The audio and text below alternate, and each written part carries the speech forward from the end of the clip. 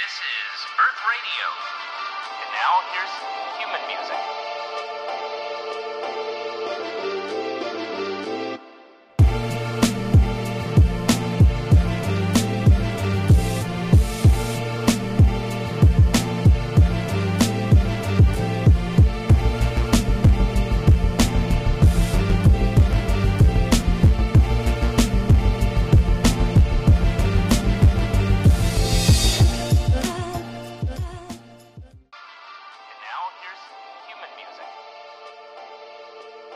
Right, we back on another episode of the main event podcast, baby. And uh, Mike Risper's right here to my left. And we want to say, first of all, we've been doing this for about a year strong now, Mike. And it's the first episode of the new year, 2021. We bringing it in. And uh, I'm thankful for that, man, because uh, we've been grinding the main event podcast Yeah. for a Yeah, long time. But we ain't gonna get too mushy on them right now. But we we happy to be here for another year. We happy to be celebrating with everybody. Indeed. Make sure you like and subscribe on YouTube as we continue to bring you nothing but the best at all times in the sport of boxing. Now, Mike. Now that we done told everybody Happy New Year, man, let's dive right in to the lecture at hand on the main event podcast. Okay. Ryan Garcia, Yeah. Ryan, man. Yeah. the Zone Network. Yes, sir. He looked like he Yes, was sir. worth a few million dollars out Yeah, there over did. the weekend, Yeah. man. He It's, did uh, thing. He did did it look like he woke up the lightweight division? If, Well- if if a few fighters thought they had it sold up, Well, well, it ain't that he woke up the lightweight division. The right. lightweight division is, has always been exciting. You got uh, too many um, great fighters right there for it to just sound like it was sleep. Now, it was always woke up, but he just now arrived to that level where his name is in the hat now. Where now that, you know, I don't think, this is my opinion, I don't think that one win makes him a shoe in at the top. no, not at all. But I do uh, uh, um, believe that it makes him a game player. Right. Now, I, I agree with you there because there's one thing I seen in Ryan Garcia. I seen this. And you even said this a lot on the main event podcast. I'm gonna remind you now if you don't all right. remember. Come on with it. You like you don't know what a fighter. I think you said it the last time too Yeah. on the last episode. That's you never right. know what a fighter has until he's been tested, put in a situation he That's ain't never been in, That's and right. react That's to right. something that ain't never happened to him. how you gonna react when you in trouble. Saturday night. Yeah. Well, Saturday afternoon, because the zone, I don't know why y'all started the car so early. Y'all real disrespectful for that. But we love y'all anyway, because the fight was good. But Ryan Garcia got dropped, man. he got dropped. He got I- dropped. I, I think he got dropped. It was a good shot, too. It was a good shot, but my opinion on him getting dropped is because he was careless. You know, he was uh, he came out aggressive. He came out um, uh, for the lack of he was cocky. You know, he just thought he had you know he had the control of the fight. I mean, he did come to the ring You getting know? carried on a chariot or Yeah, something like you know, that. he That came boy, Ryan, cocky. Ryan used a cold piece, man. Yeah, he came cocky, and you know that one that one you know flash knockdown woke him up. Right. And then when he got back up, then it was business as usual. Then he got back to the game plan. Yeah, I- and I love to see he got tested, man. I I didn't know. I was like, oh, okay, Ryan, let me see what you got, baby. Get out. Let me see what you got. And then he got up, man, and he finished the job. But I want to talk about the body blow he delivered that boy to Oh drop my him. God! Because he said something in an interview prior to the fight. Ryan Garcia said this. He said he was going to stop him. He said that uh, every fighter that the boy was in the ring with, could nobody ever stop him. Right. Nobody ever stopped him. Nobody stopped. He, Luke Campbell, nobody ever stopped him. nobody ever stopped him. But he got in there with the young with the young Thundercat, Young Thunder. Oscar De La Hoya, new protege, so to say. I gotta write that down. I like that one. New protege, so to say. You know what I'm saying? But I mean, I liked it, man. He But you know, on that note, when you said the uh, De La Hoya protege, I, I just want to throw this out there because it's time for us to stop um, putting new labels on these young fighters and let them just fight. Because once you put a label on them, then the head starts to swell, Yeah. and then you know you uh, they won't fight. You know, or I'm a bigger jaw, I'm a bigger name, I'm this, I'm that, and that creates friction sometimes when it comes to negotiation at the table. You know, because you know you can put a label on them that they the next Mayweather, they the next De La Hoya, the next Sugar Ray Leonard, all all these other names are great names, and now I'm not saying that you should not compare them, but what I'm saying is sometimes that can be a distraction when Nah. it comes to the growth of a fighter because they get too big headed. Nah, man, he's the new golden boy in my book, man. He wears haircut like De La Hoya used to. He can even grow a beard. Is De La Hoya the one making him shave his face before the fight to give him that baby face look? No, So, no, I mean, so you, you, he- you, he's following in the right footsteps. If you gonna make you some money in the sport, if De La Hoya lay out the blueprint for you, boy, you better follow it because he done done it. oh, no doubt. I, that, So shave your face. Don't misunderstand what I'm saying. No, no, no. What I'm saying is, you know, on a personal note, as a as a promoter, as you know, I mean, as a commentator, as a you know, an analyst or whatnot, people gonna say what they gonna say. Right. But when you start believing your own press, is when you can have a problem. That's what I'm saying. Certain fighters, you know, they're fine until they start believing that they're more than what they are. Well. now, now let's go a little further in the lightweight division because uh, it's a fighter that um, kind of remind remind me of this situation. It's a few fighters. and that's Teofimo Lopez. T.O. Teofimo Lopez is a great fighter. Man, I'm I was intrigued by him. You know. Then when he came stepped up to fight Lomachenko, you know I had it. Right. Right. Yeah, Had sure. him in the fight. Yeah, you were- But yeah, after yeah. he won those belts, Okay. it's like something changed. It's like you know you you can't be sitting on a on a throne and then you can't defend the throne. Right. Or, or you you want to go back to the little fighters Right. and try to tell. He said this. He said, "Well, they need to fight other fighters uh, um, to build their resume." The, man, you got the less. You got your resume. wait a minute. He told he told other fighters that they need to step their game up before he they give need my opportunity. Yes. Let's get the record straight. Teofimo, come on, man. You only got 14 fights to the my- good, man. 15 maybe, give or take a fight. You just got here, brother. Now, did you beat one of the best decorated amateur fighters there ever was? Yes. For sure. Did you beat a top rate fighter? For sure. Was he a little over the hill? I ain't gonna call him old, but he had a lot of miles on him before he went pro. But he was still good though. He was still There's good. no excuse there. I mean, he had the footwork of a ballerina, baby. Man, Everybody knows no excuse there. He Lomachenko took took ballerina classes. and that's all we're gonna say about Right, that. right, right. He took a whooping. But Teofimo still, man, you good. And I want to see you still continue to do great things in the sport. But don't tell nobody, bro. They need to. Come on, man. You got 14 fights, man. You need to fight a couple more fights. Yeah. I mean, but it, but they fall up under something top rank doing right now, Mike. And I, I I told you this know. before. I They know. making all the youngsters fight each other young. I love that. Who who making the fight me up? No, no, the record wise. Record wise. Oh, oh, Young okay, as in records. Okay, Young right. records. 'Cause you know- 13, 14, and 0. Really? Okay, Now, yeah. back in the days, uh, somebody of a Teofimo and a Lomachenko, them fights don't happen if they don't have 20 or more fights. Listen, the reason why that even came to the table is because Top Rank decided to give Lomachenko a chance that they will give no one else to fight for a belt, the second fight of his career. He gave they gave him something that no one else will ever get. Oh, yeah, for sure. And that is why. But he earned that, though. His amateur career, Listen, he, listen, three gold medals, I believe. listen. No, two gold. Two? Okay, I'm Listen. sorry. what you do as an amateur is very notable, very notable. But he's not the only one that had a very notable amateur career. You're right. So that does not, you know, put him in the category where he the only one can get a shot. That is that's not how that worked. Okay. They just gave him a shot that they would would have never gave nobody else because he was so old. You spent most of your years when you could have been a pro as an amateur.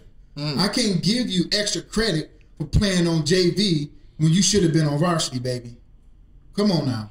Preach Now, on the first episode but now, but now that we here, okay. don't get me wrong, he he he made his his statement that he should be there. Right. But at the same time, he didn't have that many fights under his belt. To be saying that. Right. So so when he fought when he fought uh Timo Fimo, they both records was about the same far as, as how many fighters. Right. So now that they both have the less fighters in that weight division, Teofimo should just continue to roll over everybody. Should.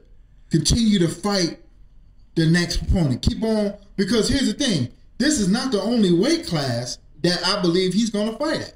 No, no, So they'll your endeavor, go up. They your all endeavor young. should be just to clean the weight class up. You got one more belt. Devin Haney got that belt. You know, you should be after Devin Haney. You got the big name. You got uh, uh, uh, uh, Gervonta Davis still Oh, out no, there. oh, yeah, that's You what still- I meant to say you too. got- he called that boy out right after the fight. Yeah, yeah. He- Hold on, let me finish with, with Timofimo. Ooh. Timofimo, he is, far as belt wise, the number one guy. Yeah. You being the number one guy, you shouldn't turn down nobody. Yeah, I, yeah, I feel him on that sense, but he need well- more fights to, to be telling people they need more fights. Yeah, yeah, yeah. But because of those belts, I agree. They're gonna That- come after Yeah, him. but because of them belts. they're gonna come after him. But we all know this is the business of boxing, and when you the top dog, when you at the top, you can look down and pick and choose. I mean, we didn't come up with how the game is played. The rules was created before they started playing this. So they, you True know, that's just how it goes. But, But, but you know, I'm gonna always come as a fan. right, exactly, and I'm with you.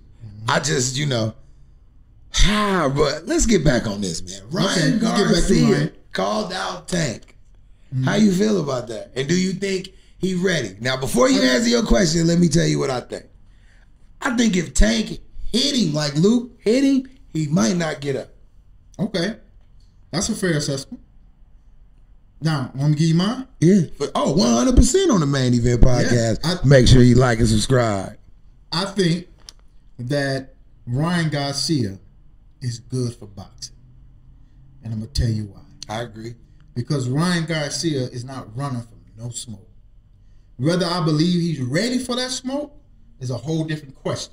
Mm. But he's not running from running. no smoke. He, He said that he wanted to fight Tank before the fight. And Devin Haney was sitting at the fight. Right there. Why he overlooked Devin like that? Like. Devin wasn't nobody. He didn't overlook that, Devin. He said, I'm a man of my word. I was calling out Tank, and I'm gonna continue to call out Tank. But if that don't happen, then I will fight. Let's make it happen with Devin Haney. Yeah. He, he's not running from no smoke. Yeah. But the thing, but the big question is, is he ready for that kind of smoke? I think him and Devin will fight before him and Tank fight. Well, well, it's set up for him and Dev- Devin to fight before him and Tank to fight because Devin is a mandatory. Right. But you all know how mandatories go. Mandatories um, sometimes get overlooked. Don't, don't always mean that you're gonna fight him because He's a mandatory, right? So you know, boxing has its own rules uh, in the back in the back room. Yeah, they've been rules. playing this game forever. Yeah, yeah, yeah. They they they're they're cold piece, man. When it comes to uh, maneuvering through uh, what's supposed to happen and what not what's not supposed to happen. But to the lecture at hand, Ryan Garcia, Tank Davis. Who wins that fight if it happens? Ryan Garcia and Tank Davis. If there was a fight tomorrow, I got Tank, and I'm gonna tell you why I got Tank. Because Ryan Garcia, he still um, doesn't move his head enough. He, he fight kind of flat footed, right? And he throws a lot of punches, which is great. That is his defense, but he's gonna need more than just throwing punches when he's fighting Tank. Because you got to Leo remember, Santa Cruz was throwing uh, Just about to say he's a similar fighter to Leo Santa Cruz, Right. And all Tank did was, you know, Tank took some hits when Oh, he yeah, fought for sure. Leo. Yeah. You know, he was getting touched up, Oh, but yeah. Tank began to use his his mind and timed him and took them little hits and timed him just right and put him out. I do believe that if Tank was to time him like he timed Leo Santa Cruz, it'd be lights out. I don't think Garcia um, should fight Tank. I think he should get more developed and more prepared because he's this is the, this is another reason why he's a big draw. Yeah, for sure. He's a draw, and with him being a draw, then the fight with him and Tank is going to be a mega fight. But he's just not. He's just not ready. I don't think he's Yeah, but- totally ready. I mean, I personally think the people who he fight to get ready for Tank, I think he ain't gonna make it past them fights. I don't think he can beat all, Devin. it all depends. No, Devin, I don't think. I don't think he, I don't think Garcia beats don't Devin. know. I don't think and Garcia The reason why beats. I don't. Devin is too smart. He clever. He's slick. He got defense. He got offense. You know what I'm saying? Now, now, now, the only area that Garcia may have him in is the power area. But when somebody's beating you to the jab or making What you you do? miss, come What on, can you do? You can't do nothing.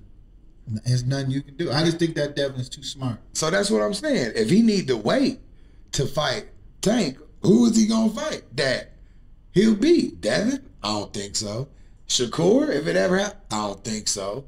Uh, who else at 135? Teofimo. Well, well, All right, Shakur- look, Garcia Shakur, Teofimo. Shakur, Shakur is at um, the lower weight class. He's at 30 But right he's coming up in 35. it's only a, another but- year or so. And then but, Shakur's yeah. moving up. But business at hand. He got Miguel uh. He got uh, um, JoJo Diaz. He he got he got a number of fights that he can go ahead and and build his continue to build his career. Clear that up when he come up, and then you got you got uh, um uh Gary Russell just moved up to one thirty. So he he has some fights that can that can put him in a prime position that when he does move up. Teofimo and, and uh, Ryan Garcia, who you got if they was to ever fight? Teofimo and Ryan Garcia. Yeah. Timo. The only listen, the the only two two fighters um that's out there that that's gonna cancel each other out. Um, because they're both powerful. That's Teofimo and Tank Davis. Them two. Because think about look think of the whole landscape of the li- of the light lightweight division. Every fight is a beatable fight. Until you start breaking down who has what qualities. Then the matches who you matching with will determine who you have for what fight. Now I think Tank can is it's a beatable fight with anybody. Anybody in the light weight. Same thing with uh, Teofimo. It's a beatable fight. Anybody's a, a beatable fight, depending on your strategy, how well you adjust, depending on what your game plan is, etc., etc. So basically, in a nutshell, on the main event podcast, you got Ryan Garcia ain't getting no further than this. No, no, I, no. No, I'm This- talking about as in fighting other elite names this- this- in the division, not other opponents. I'm talking about him and Devin going to eventually fight before him and Tank fight. But Him and Teofimo might fight. You wrote him off right there. You wrote him off on Devin, and you wrote him off on Tank. but he's a draw though, because so they should keep him he's safe. a draw, and it doesn't take a win for you to be a star. you right? You know what I'm saying? For him, all he got to do is make the fight close, and his fan base is going to continue to grow. Yeah. Oh yeah. See, sure. because you got to understand, people, you got it, Talk it's- to him about the it's- fan It's base, the Mike. belts and it's the draw. right. Talk what to Ryan, him what. Ryan has going from him is he has to draw. He's a draw. He is a draw. And when you a draw, then you eventually, if you play your cards right, You you're gonna gonna be the one, Oh, for my sure. God, that's gonna get all the big fights because everybody wants to make money. Yeah. Though they want the belts, no, there's nothing wrong with the belt. The belts are good, Yeah. but the belts does not make your draw. Timo Fimo, Teofimo. you're not. A, you're still not the biggest draw. Though you are the belt holder, you're not the biggest draw. Tank is the biggest draw. Tank is the biggest draw. It's a difference. Tank and Ryan Garcia. Because look, they both fought in Texas and they both sold it out to capacity. Yeah, if they, if I mean, what they let in there, like 9,000, 10,000, but that that's capacity at this point because of coronavirus. Yeah. Tank did it and Ryan Garcia yeah. did it. So so so so now, you want So they can't fight. They got They can fight. They can fight. Not You know so soon, though. Listen, watch this. If Ryan and Tank fought, there's no doubt. I, I, I think Ryan is not ready for Tank, but Ryan has the heart. He has the skill to last and make it look good. And one loss on his record is not going to kill him. It could, in very well might catapult him. Look at Mikey Garcia. Yeah. When Mikey Garcia went in there and fought Errol Spence, Yeah. same thing happened Yeah. it, it catapulted them to a bigger platform for the both of them. Like Canelo, right? Canelo and who? Canelo, when, when he got that L from Floyd, it didn't hurt my boy. It didn't hurt. It Catap- catapulted it helped him. It catapulted him Right. to a whole nother Oh, no, no, platform. And now he's the man, right? yes. So Thank you. He agreed on the main no, no, event I, podcast. I, I never said he wasn't the man. no, I believe Canelo is the man, but I, I do believe that Canelo um, can step up and fight better fights that's wanted for him. oh yeah, for sure. That's that's that's all I've ever said. Is Canelo is dancing around the big fights that mm. everybody's want. Oh, oh, but Oh, he ain't dancing though, man. He's not dancing. well, he got a strategic plan, and everybody He ain't really. dancing. But now, now that I, I can I can see what he's doing. he been the biggest draw since. No, listen. No. Just because you the biggest draw, don't mean He backs it up with his fights. He got the belts and the draw. We was just talking about it. We go. That's Canelo, Here man. we go. You know what it is. You don't want to go back into boy. this. That's Canelo. He's Yes. the truth. Listen, there was better fights. L head honcho. There was better fights for him than Callum Smith. There was better fights out there. I agree. There was Caleb Plant. That was just as easy as that. No, Caleb Plant is a, is a, is a He can fight. Yeah, But Caleb he, Plant wouldn't- is, he ain't beating Canelo. is he's a bigger, he's a better fighter right. than who, who he fought. Right. But he's not beating Right. Canelo. Andrade. He ain't beating Canelo. They are better fights. Right. I agree. That's what I'm. But he still my- beats him. But my point is, you're not fighting the better fighters. That's that's my only point. Fight the better fighters. Just fight the better fighters. Even though you're gonna beat him anyway, fight the better Just fighters. beat them. Like they in the way. Just beat them. That's all you got to do. That's my only. That's my only gripe with him. And other than the, you know, the, the two times he got popped for steroids. Hey man, I told you they breed different cows out there. Okay, man. He likes all the right. finest but, of meat. But let's get back to the lightweight. Ryan Garcia, you look like uh, you was ready to take over the world after you won off after that great body blow. It looked like you was about to go to the head, and you dropped it right in his lever. Put him right down. But he set him up for that shot. yeah, he did. He yes, kept he on did. the he kept on the overhand, the overhand. Yeah, he and did. then he went right to the right to the gut. I like the fight, man. I don't see him beating none of the top dudes, but is he a draw for sure? But I do- should they I- move him right to keep the business going? One hundred percent. But he's definitely a good fight. Oh yeah, yeah, He's and a he can great fight. for them. Yeah, yeah, for sure. You know, one hundred and percent. like you say, like we say, styles make fights. He may But he ain't the king of the division with No, that fight. no, no, he's not. Who's the king of the lightweight division? King of the lightweight. And what makes him the king? King? I, I would say Tank Davis. Okay. And the only reason The why, knockout ratio and the draw? yeah, he has he has his record is is his knockout record is better than Teofimo Knockout because he got more fights. Right. Um, you know, he didn't. He tried to fight Lomachenko. He tried to fight. I mean, he's not ducking no fight out there, and he's the biggest draw. He got the best fan base, and you know, right now, I would say him, and then Team Timofimo, because uh, like we said before, he quick, he powerful, he got all the intangibles um, to be just as great. So it's it's it's a real close race. Yeah. But I got to give it to Tank because he is the bigger draw, and when you the bigger draw, then you call the shots. Yeah. Well, I mean, what about Santa Cruz? You think Garcia and Santa Cruz? Gar- uh, Santa think Cruz that'd be a could go- great fight. Good fight. I think that'd be a great. Because Leo Santa Cruz could go to 35 as well. yeah, yeah, yeah. I think. And, 'cause oh, or he Santa can go to Cruz 30. ain't out the mix. He oh, He lost to it. back. He he he. He's there's still business at thirty. He can take care of. Yeah. You know, so so yeah, You think him and Shakur ever fight at 130? Woo!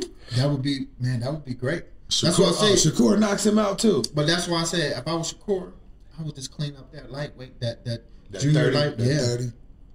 yeah. Clean it up, Shakur. Yeah. We I- waiting I- on you to move up, man. Because, so you you, know- can make your name in the sport, baby. When he move up, boom, he gonna already have that resume. He ain't got to be playing around fighting lower fight. He can go right to the top. Well, y'all heard it here first, baby, on the main event podcast. We broke down the lightweight division. We broke down who Garcia should fight or need to fight to keep his career on the right path and who he should stay away from right around now, right? Yeah. Well, Okay, Well, he can stay away, but I'm just saying. I, I don't mean to like stay away from him, but what I'm, I just mean I don't think he ready, ready enough for me to say he's gonna win. But I think he should fight whoever want to fight him. That's that's a big fight because he is a draw. Okay. And he is a draw, baby. You heard it here first, second, and third on the main event podcast. Make sure you like and subscribe on YouTube because we always gonna keep it 100 with you. I'm Tawan Butler. That's Mike Risper. And Mike, that was real great take today, man, on the lightweight division, man. You Yeah. did that, man. Yeah. He's ready, man. We out here. We doing our thing, man. Happy New Year, everybody. We Happy gonna continue Year. to do what we do. Make sure you like and subscribe. Peace out. Peace.